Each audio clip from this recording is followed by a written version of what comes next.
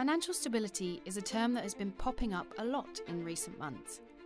Bank failures in the US and Switzerland have people asking how stable our financial system is, while high inflation and interest rate hikes continue to affect people, banks, and companies. We've just released our latest financial stability review, which twice a year looks at just that. Today, we'll talk about whether our financial system is stable, and we'll take a closer look at the risks we see for two big areas banks and property markets. You're listening to the ECB podcast, bringing you insights into the world of economics and central banking. My name is Katie Ranger. I'm joined today by John Fell, who works in our financial stability department here at the ECB and is actually a regular guest here on the podcast. Nice to see you again, John.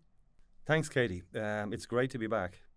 Now, I say it almost every time, John, but it's only been six months since we last spoke, and once again, quite a bit has happened. Some good, some not so good. On the one hand, energy prices have come down, and the supply chain disruptions that we saw across the world are easing. The economy is continuing to recover from the pandemic, and companies are making good profits, so that's all very positive. But on the other hand, inflation is still high, and rising interest rates are weighing on people's debt burdens.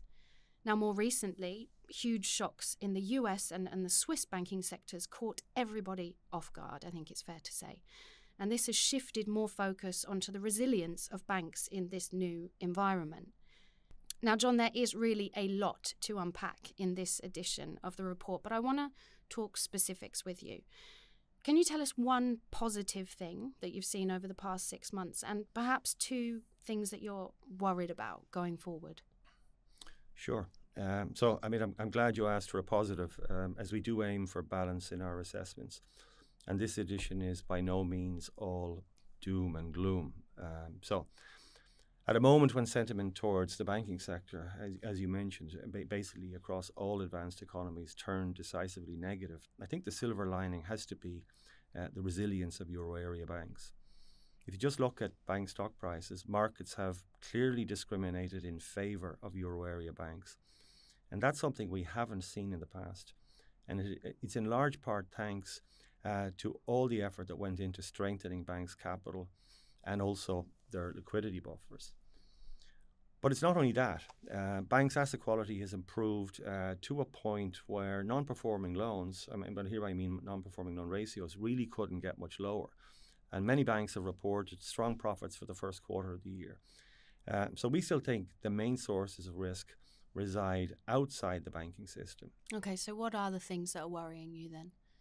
Okay, so on the negative side, and, and you asked for two. Uh, so first, I mean, after the exceptionally strong rebound in financial markets at the start of the year, I think we can say that some of the old concerns have returned. Uh, so asset valuations are stretched again, and as central banks have been pulling back from asset purchases, um, that's basically meant that two-way risk has returned, uh, while market liquidity is eroding. Um, and that's making markets, especially bond markets, vulnerable to adverse dynamics are episodes of intense volatility. And second, even though there are signs that vulnerabilities in the non bank sector are easing, uh, we see investment funds adopting more cautious strategies, for example.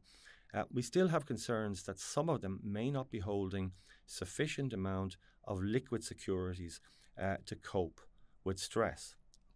By li- liquid securities, I mean assets that could be easily sold, if necessary, and quickly, uh, without moving prices. We know that investors uh, are often spooked by unusually large asset price de- declines. And in situations like that, some can even panic and look for their money back.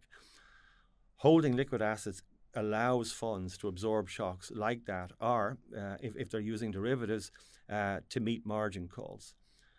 But if they don't have li- sufficient amount of liquid assets available, they might find themselves in a situation where they're forced into selling uh, less liquid assets in a hurry, and of course at low prices, and that could amplify market stresses even further.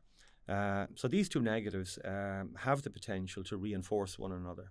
Okay, so we're going to be keeping an eye on markets and, and non banks, and I'm hearing that liquidity is really the word uh, of the moment there. Let's zoom in now on one area that you've already mentioned and, and where we've seen a lot happening since we last spoke, and that's banks. Now, we had three US banks failing in the space of just a few weeks, and during that time, global bank uh, Credit Suisse was also taken over by UBS in, in Switzerland. For some, it no doubt brought back memories of the fear and the, and the turmoil of, of 2008. John, can you talk us through how this episode has affected banks here in the euro area? You won't find anything in the later in, in the last issue of our FSR, so that's the November issue, suggesting that the epicenter of financial stability was lurking in the banks. Um, and if you were to leaf through the pages of the financial stability report, uh, that the Fed published last November, there are a few hints there either. So it's really been a complete surprise. It has been a total surprise. So, but the effects on euro area banks were very limited. Uh, we did see uh, large drops in bank stock and bond prices, uh, especially on so-called uh, AT1 instruments, and also credit default swap spreads widened. But there were no serious stresses of the kind that we saw in 2008, um, and, and tensions eased very quickly. So why was that? Well, I mean, banking crisis can spread through at least three channels. Um, and so let me just mention those channels uh, interconnection between banks, uh, common exposures to the same risks, um, or simply swings in, com- in confidence or sentiment. So if, I go, if we think about the first channel, uh, all of the banks that failed in the US were regional banks. So they were not international banks, but regional banks. And mm. also by definition, uh, interconnection with euro area banks was there was some, but it was very, very limited. As for common exposures, uh, the idiosyncratic business model of Silicon Valley Bank is often pointed out as setting it apart. Um, there was an article in the Wall Street Journal uh, where there was a quote uh, For startups, all roads lead to Silicon Valley Bank. And that was true. Uh, it took deposits from startups, it extended loans to them, and it even invested in them. And that business model was working fine as long as the tech sector was booming, as it did during the, the pandemic. Mm. Deposits were coming in, and the funds were were sent back out to work uh, in the tech sector. The music stopped though uh, when the loan demand of tech firms weakened, um, and the deposits were continuing to flow in.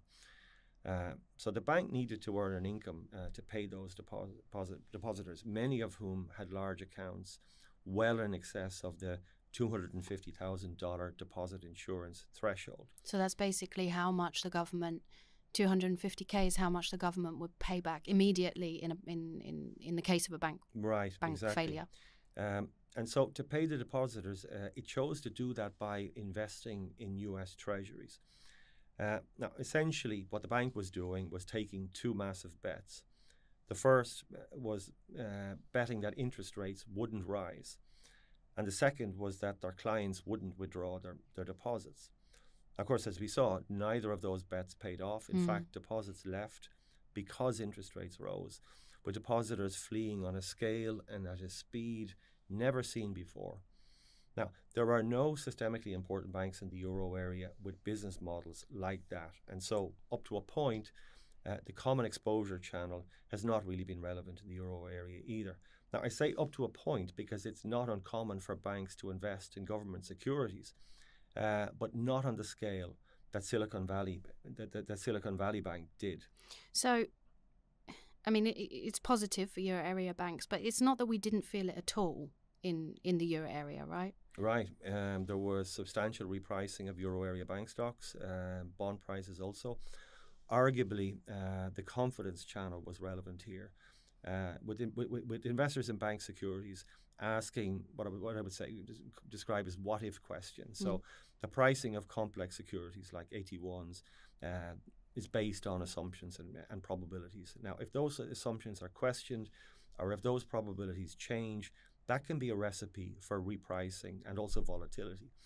Now, after Silicon Bank Silicon Valley Bank was closed by the FDIC, investors in euro area banks were asking how would the value of senior bonds be affected if all depositors, so that's both insured and uninsured, were made whole in a resolution. Now, as that is not foreseen in, in, in the European resolution framework, uh, it would actually make them worse off. Likewise, after Credit Suisse was taken over by UBS, markets were surprised by the full write down uh, of AT1 bonds. Mm. Now, this time we, and, here I mean the ECB, uh, together with the EBA and the Single Resolution Board, came out rapidly with the, with communication which clarified that this is not foreseen uh, in the EU framework.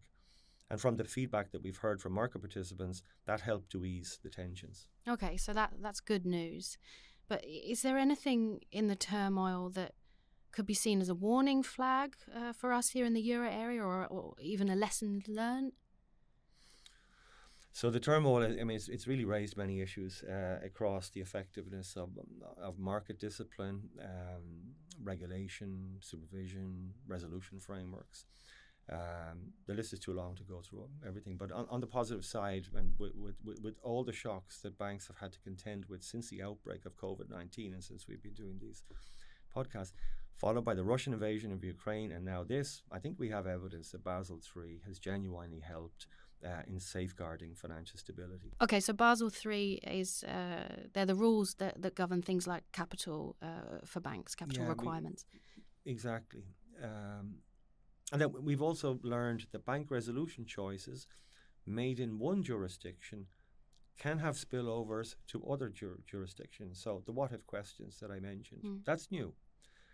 Um, but if I was to pick out one lesson, uh, the speed and scale of bank runs witnessed in the US really stands out as a warning flag. Now, there was a study published very recently by the Federal Reserve Bank of St. Louis uh, that compared the three recent runs on US regional banks with earlier episodes. So, for example, in the case of Washington Mutual Bank, and that was the largest US bank failure uh, in, in, September 2008, mm. 10% of deposits were lost over 16 days uh, before it failed. Now, fast forward 15 years, and Silicon Valley Bank lost 25% of its deposits in a single day. And had it not been closed, it could have lost a further 62% the next business day. That's incredible. We haven't seen anything like that before, and that, but the, the case was special, uh, as many of the depositors knew one another personally, mm. and that appears to have speeded up the run. But if you look at also at, at First Republic, I mean that's the latest recent failure in, in, in the US. 50 57% of, it, of its deposits were lost in about 10 days. So, in comparison uh, with Washington Mutual, the, the, you could say that the intensity was about five times greater.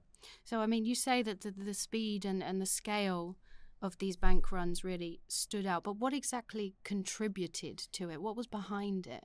Well, the factors that are, are often cited as drivers of the speed and scale of bank runs uh, include the share of, of insured deposits in the total. Uh, insured depositors won't run. Uh, electronic banking, um, and the influence of social media uh, in spreading information. Mm, that was that was something quite new, I'd say here, yeah, right, compared to 2008. It was, and, I think care is going to be needed in the final diagnosis of the role of each of those factors and you know, the role that they played in in what we saw. Now, it certainly looks like social media, in combination with electronic banking, speeded up the runs.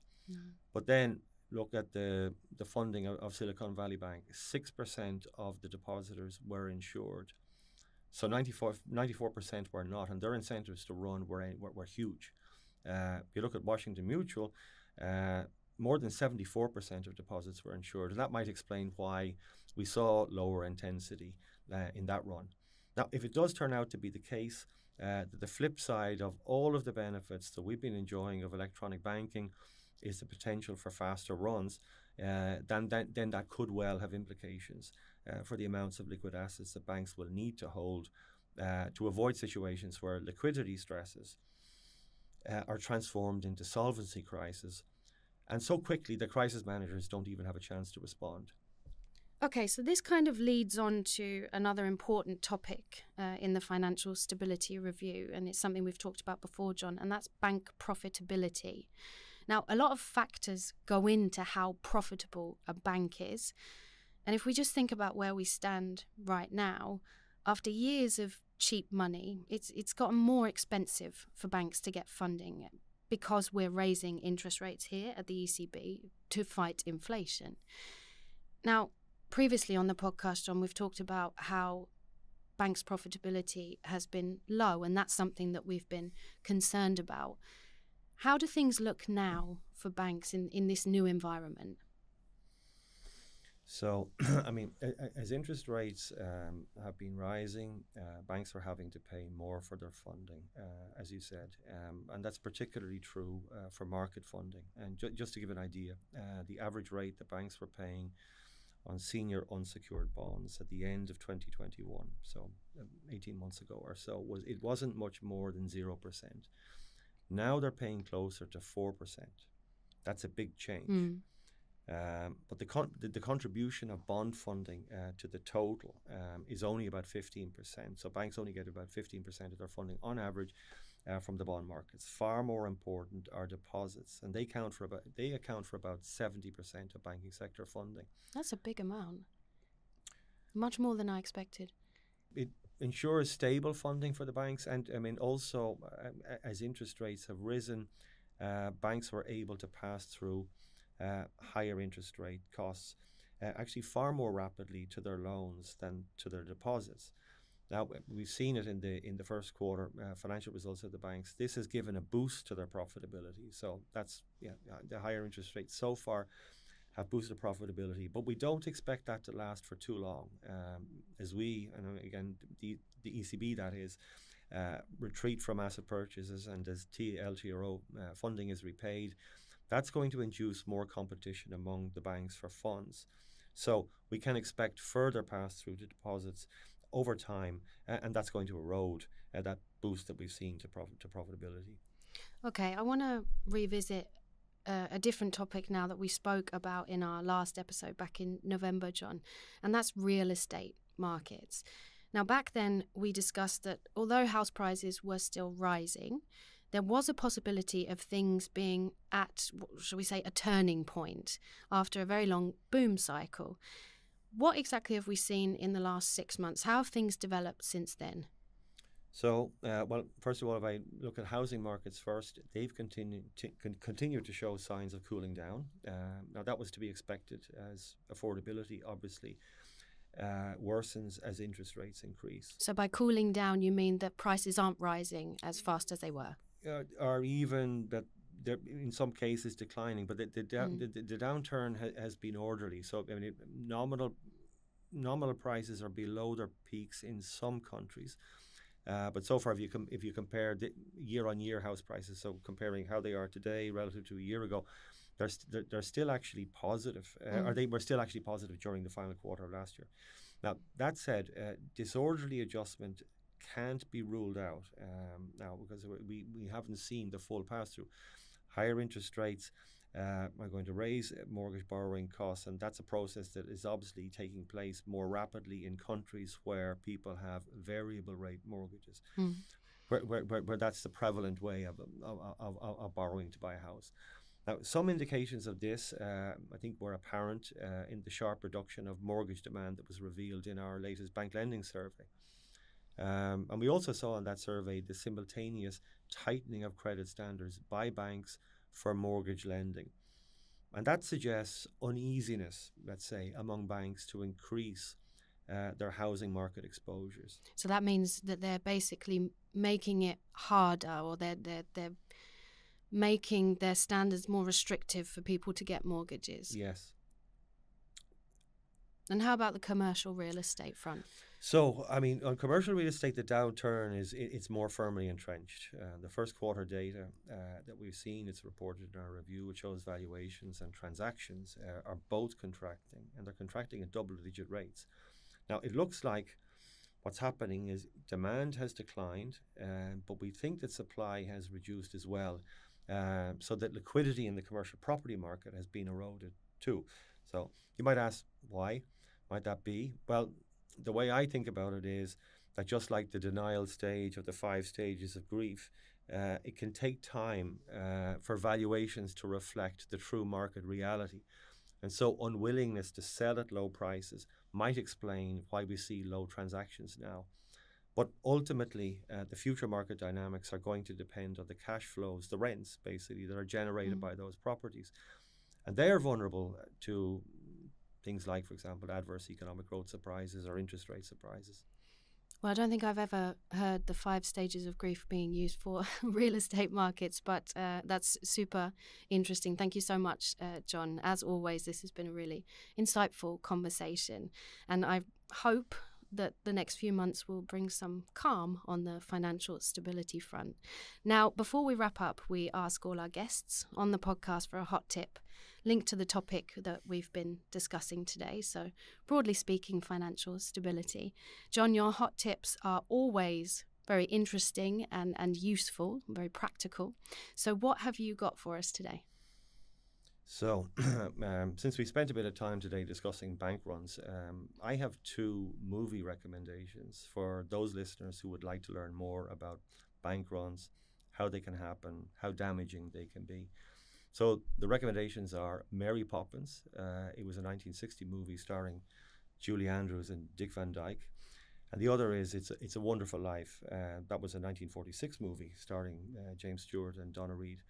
Now, in Mary Poppins, the trouble starts when a boy is overheard shouting, Give me my money back. And he's shouting at the bank manager and misunderstanding what is going on. One woman says to another, There's something wrong. The bank won't give someone their money. And so you can imagine what happens next. Mm. Um, in It's a Wonderful Life, there is a great scene after the run where James Stewart's character is in a discussion with his uncle.